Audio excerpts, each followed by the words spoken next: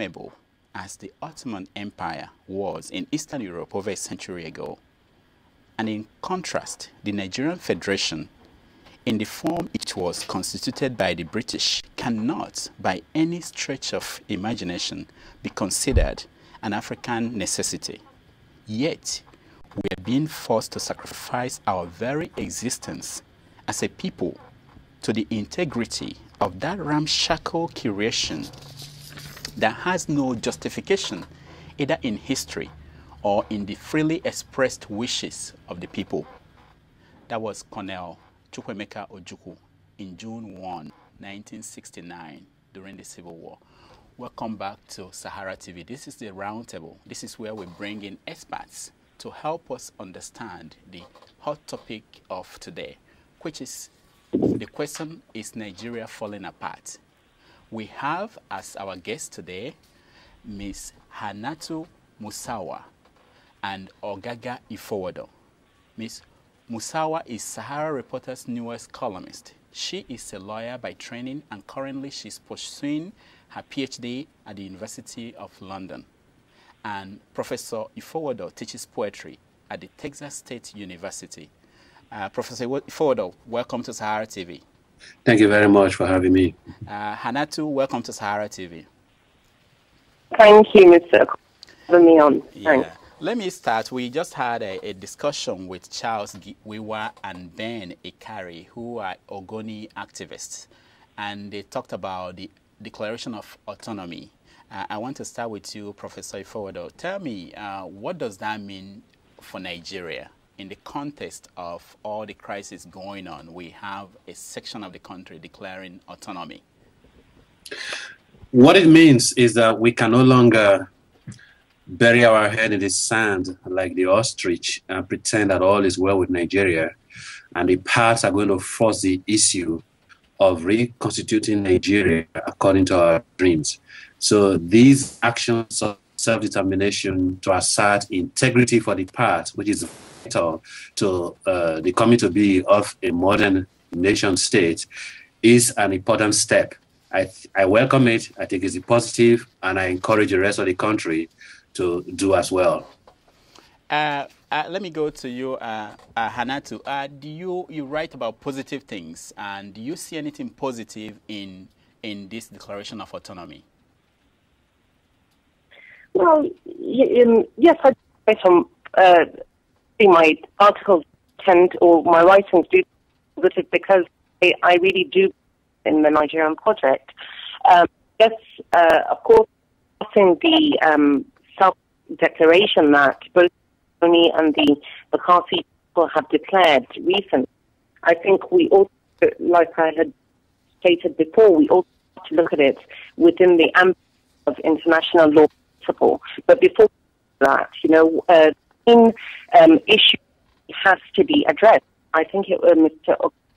briefly touched on it before, is the fact the centre is Berlin. And um, like um, uh, I mentioned before, you know, because, you know, the long and short is that Nigeria is a failed state. And uh, it can be described by every single as a failed state.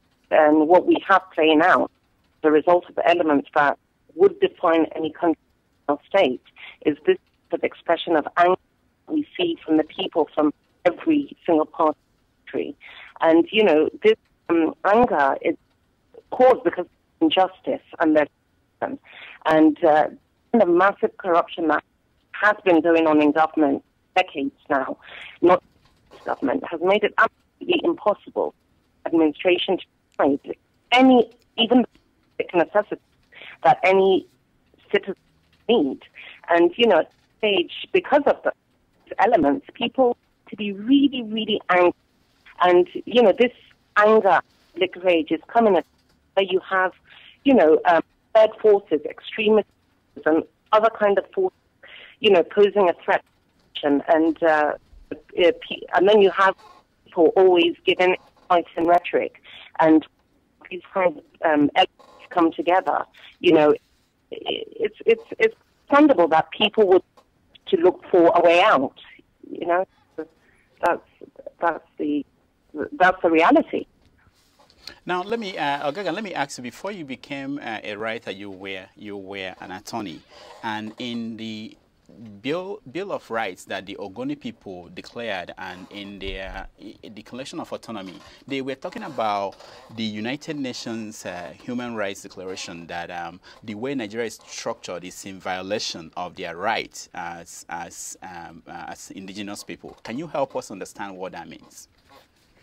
Well, I, honestly, we don't even need to go that far. I, I, I think this is a uh, a platform that has been used ever since the coming to be of MOSOP. They try to use the Indigenous Peoples uh, Declaration of the Rights of Indigenous People uh, uh as a, a way of internationalizing what is really a domestic problem. This is a problem of Nigeria, but because they had no room within the Nigerian state to give expression to it due to the clampdown on all agitations for fiscal federalism, a just and equitable Nigeria, uh, the environmental issues that they faced being in the Niger Delta, which is not only on the Ogoni people, by the way, all the people in the Niger Delta suffer from these things. They use the United Nations platform as a way of internationalizing what is really a domestic problem. So we don't need to go that far. Now that the matter is back, it's going to be back to us in the end anyway. We're going to resolve this problem within Nigeria before the international community can recognize any state, any arrangement that we come up with. Which brings me back to the point that Ms. Musawa is talking about the question of the international framework for recognizing uh, nations. The truth is, that is going to come after recognition, international recognition, whether by other nations or by the UN, will come after the first step is for us to decide on whether we're going to be one, one nation and then draw up the articles of association that will guarantee peaceful coexistence where all the rights of the constituent parts are respected then the international society will not need to be called in because we will still be operating within the framework of Nigeria. However, if Nigeria has to break up, whether into two or into three or into as many parts, international society, community, and the UN will recognize those parts as they finally break up, like in the former Yugoslavia or in, in, in the most recent case in Sudan, as they are finally constituted into nations and accepted by the people in those geographical enclaves, then we can talk about international recognition after. But for now, this is a step in assertion of the right to self determination up and including up to and including the right to succession. So that is where we are at the moment. And I think we can leave the question of international recognition for later. Let me ask you, uh, Hannatu, you said that Nigeria is a failed state, and I agree, and, and I believe that it works very well for those that failed it.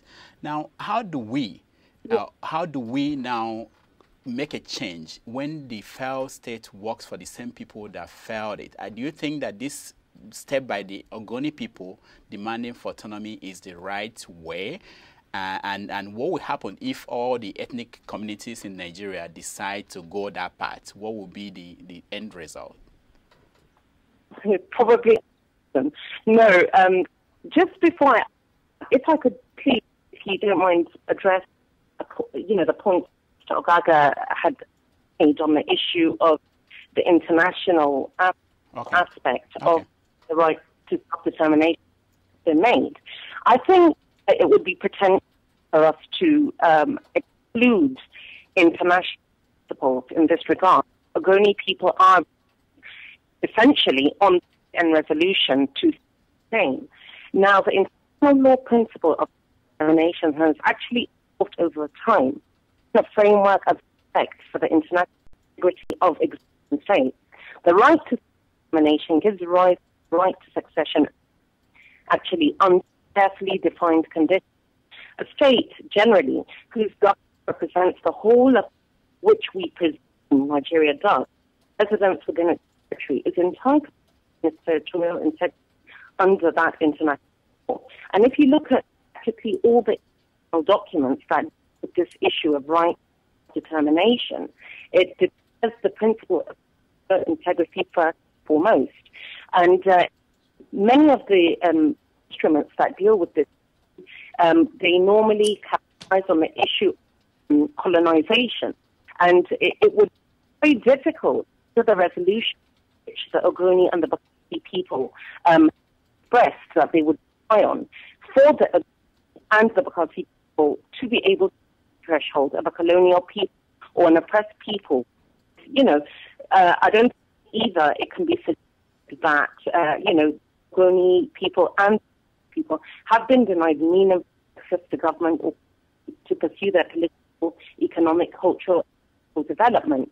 I think it would be very, it wouldn't be realistic for us to, even though essentially, of course, it is up to us to decide at some point want to continue nation or um, no matter you know the different um, entity or do I don't know parts people divide the country up into. But I, we you know the any who is trying the right to self determination and use United Nations to do so cannot divorce themselves the certain you know the issue and the and prevalence that international gives to and priorities to, to territorial integrity.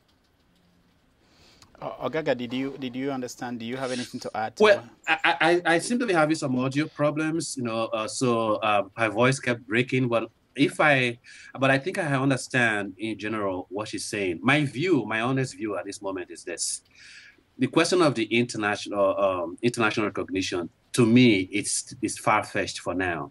Um, I'm not saying it's not relevant. I'm not saying Ms. Musawa is not uh, on point. I'm just saying for now, at this stage, at this moment, it is far fetched. Uh, I also think that the Ogoni people are actually breaking away and saying we want to form a nation of our own. They are far too small to form a nation of their own. I think they're just making a political statement. They are, they are trying to force an issue with the federal government. Uh, the so-called leadership is dodging, is refusing to confront head on. They are trying to force an issue that so-called, is everything all right? Continue, continue. Okay. Yeah. Uh, they are trying to force an issue that the rest of Nigeria, the so-called leaders, are refusing to discuss. Meanwhile, it is so imperative that we cannot continue, things cannot continue to go on as they are. So that to me is a statement, and I think it isn't, it doesn't even start with Ogoni. Again, if we are casting our mind back to only the, our most recent history, by which I mean since 1999, since the military for the second time, second time round was forced back to the barracks, starting with the government of Obasanjo and then down to Yaradua and now to Jonathan. I think the question of forcing a, uh, because a, uh, of a unilateral declaration of independence started with the action of the 12 northern states that insisted on Sharia against the clear secular status of Nigeria in the constitution. So again, to me, that wasn't the 12 northern states saying we were no longer part of Nigeria. They were simply making forcing to the forefront, to the front burner, an issue that is so urgent, that is so imperative, we cannot dodge it anymore. What is the basis of Nigeria's unity, nation, nationhood? I think this is what all of this amounts to. So if we mention the Niger Delta uh, militants or the Odua People's Congress or uh, or the movement for the uh, survival of uh, or MASSOB movement for Biafra, all of this down to the current Boko Haram, you know, uh, jihad, all of that amounts to the same thing: renegotiating Nigeria forcing the issue because our leaders, those who profit from it most, who profit from this failed state that is called Nigeria, will not let it happen. I think that's what it, it really is. So we can leave the question of international recognition, the framework for recognition, the framework for relating to the, relating to the rest of the world for later. But now, let's force the issue and talk about how we're going to make a nation out of these disparate entities that have been coupled together and have been preserved in that state since the departure of the British colonialists. Now, uh, Hannatu, let me ask you. So, based on what Ogaga was saying, uh, I'm, I'm envisioning that he's thinking about national conference. What is your view about yeah. national conference? Do you think it could lead to a solution to some of these problems that we have? Yes, I, I, I um, do. I before, but um, you know, with um, thought into it, I did. I, I now do. Um, yes, uh, and again, I to make a very, very quick on the issue of international aspect. If we're not going to involve the international, uh, you know, legal principles in the issue of whether it's self-determination or, you know, make decision as to how forward as a nation, cannot, as a people, on UN resolution. So, in which case, have to look inward, and this, uh, you know, um, of um, um, national conference or uh, constituency, assembly, institutional comes into it. It's the way that we want all these issues. Then let then this be the way that we have. But if we, the people, bring in the issue of United Nations resolution, to adhere to the principles and the set that have been laid down in that respect. I at, at this point in time, really, that it is time as a nation to and and talk. I don't know whether uh, last week um, an statesman, Al I don't know whether reporters um, um, posted an article that he wrote um, on this issue, and and his which I thought was you know germane and very reasonable was um, a Nigeria to, for, to look into setting up some body different assembly to resist this present crisis, and he suggested constituency or a constitutional convention. When we speak about specifically sovereign conference, it gets people out of thought. A lot of people tend to misunderstand, you know, uh, so, you know, the consequences or read harshly consequences of what a sovereign national conference would. And this is why Hajj uh, this constituency or constitutional convention, whereby Nigerians can to sit down and um, to comprehensively review the constitution and to look into how we want to proceed as a nation. At the end of the day, it's important for sit down to, to these things because it is abundantly to anybody who is, you know, reasonable mind to cannot really move on in a healthy as a nation in this manner. So, Ogaga, um, that, that now we, we see uh, the, the situation in the north, the situation kidnapping in the south, and this declaration uh, of autonomy. Why now? Why is it happening when you have a Niger Delta uh, person as the president of the country? Oh no, I don't even see this as having anything to do with the current president of Nigeria. Don't forget that a mere six years after our independence, there was a war there was a civil war that was fought for three years. And don't forget that even before we got there, you know, the very leaders of the North during the period of constitutional debates as to whether we should be independent in 1957 or as soon as practicable, as it not proposed, the famous statement that the mistake of 1914 has come to light was made by the Sardauna. So the question of the existence of Nigeria as one national entity has been contested right from the beginning. Nobody has actually really believed in this fabricated entity called Nigeria. And that is because it came to be, it came to be as in a reactionary way, re by reaction to colonialism. So the, the question was, let's first get rid of the of the British. The same way the old adage says, you know, chase first chase, first, first chase away the fox before you chastise the chicken for straying too far into the forest, right? So let's first get away, get rid of the British. Then we will decide on how we're going to govern ourselves. But that was a false assumption of unity. There was really no unity. We really we needed to renegotiate Nigeria as soon as the British left. But that didn't happen.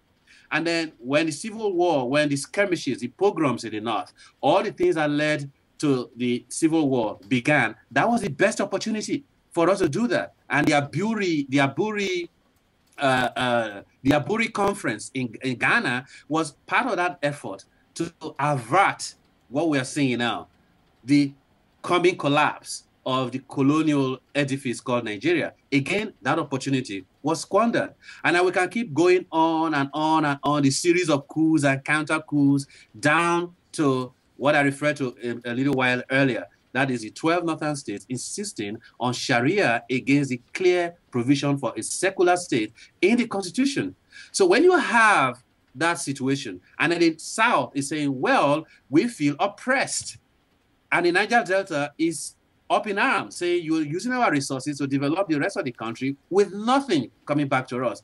What is the basis of unity? There is none. So we now have to renegotiate Nigeria on terms that will be acceptable to all the constituent parts.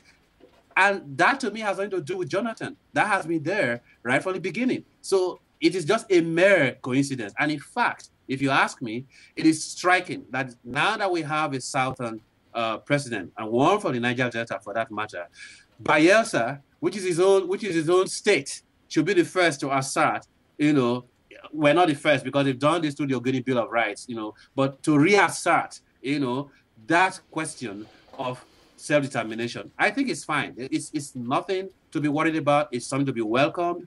And I think the rest of the nation should see this as a wake-up call for us to get it right now or forget about it. Um, Hannatu, uh, the, the, the, listening to someone like Doyin Okupe, who is speaking for the government, um, the government is looking for ideas. I can't hear you. Can you start. Sorry. Okay, can you hear me now? Yeah. Okay, so I said the government is looking for ideas, obviously. And what will you suggest in this situation now for the president to do? How do you think the president should handle this?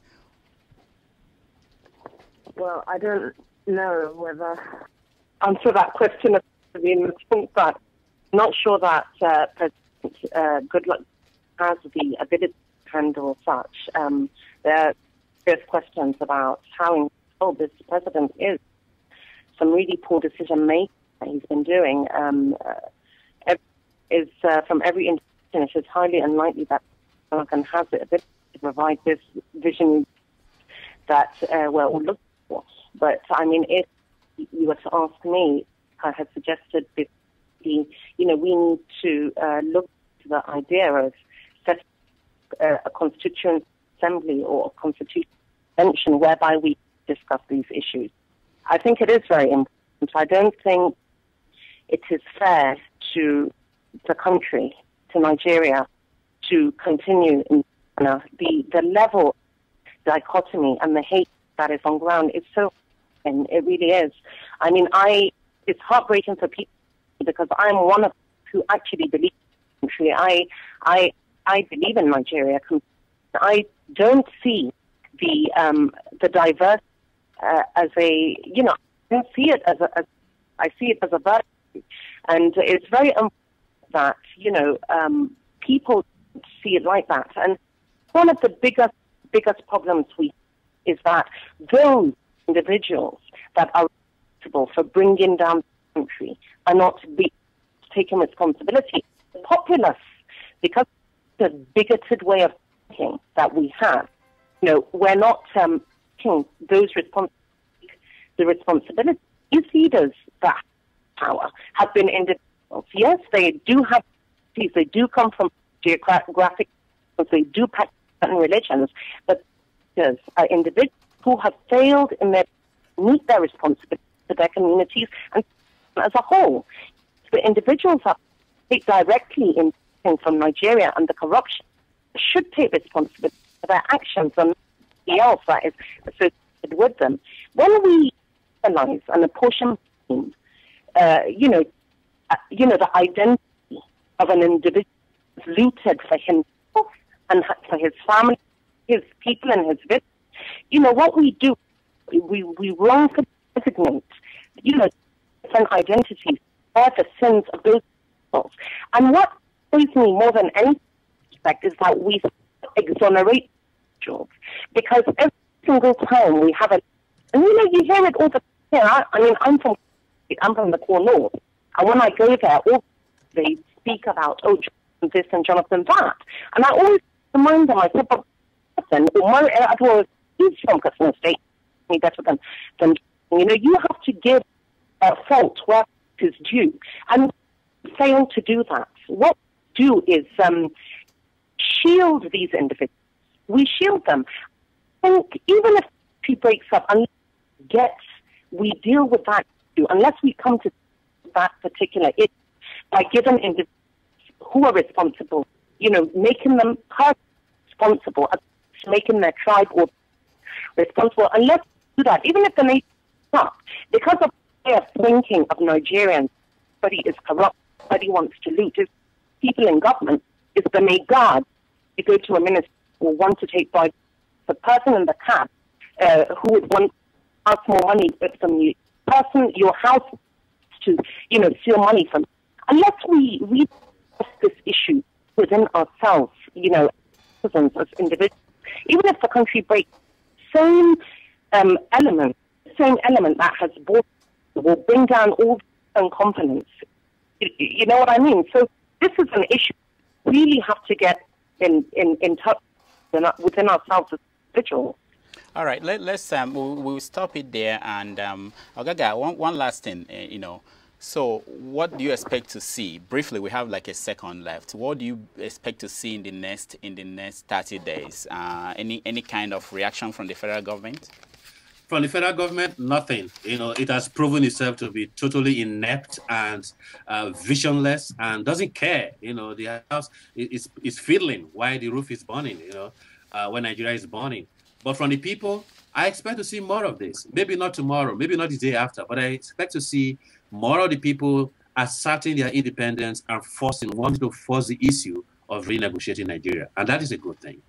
All right, so that's it. And we will come back in about five or three minutes.